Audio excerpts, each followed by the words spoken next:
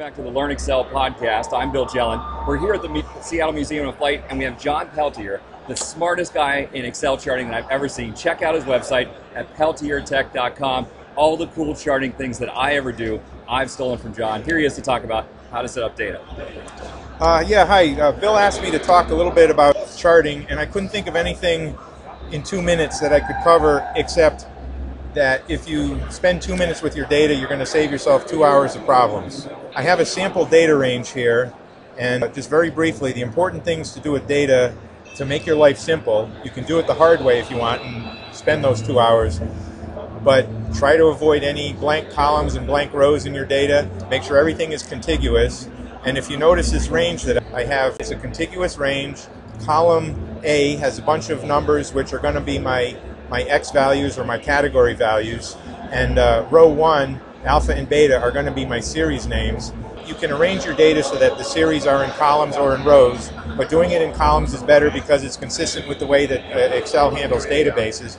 And now one other trick that's going to make your life simple is you notice that the top left cell, eh, cell A1, is blank. There's no data in it. That helps Excel to parse the data when that cell is blank, it knows to use the first column for categories and the first row for series labels.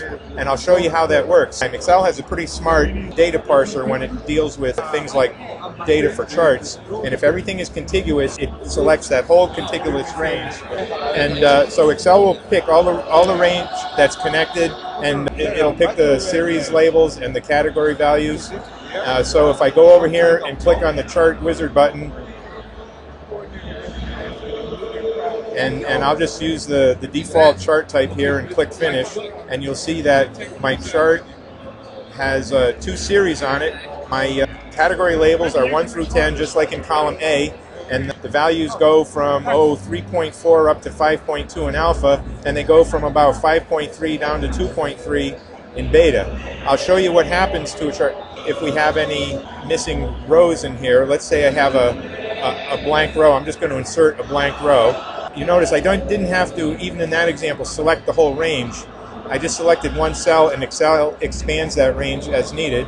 And here I go and I make my, my default chart. And look, I, it only selects the first five rows because there's a gap before the sixth.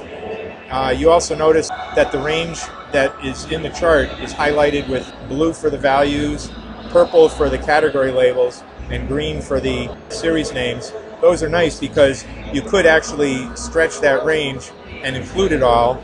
Now we have a gap, but again, if we delete that that row, we're back to the original chart.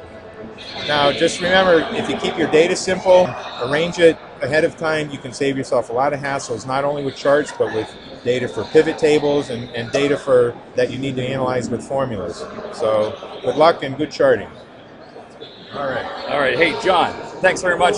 Make sure to check out John's website, peltiertech.com.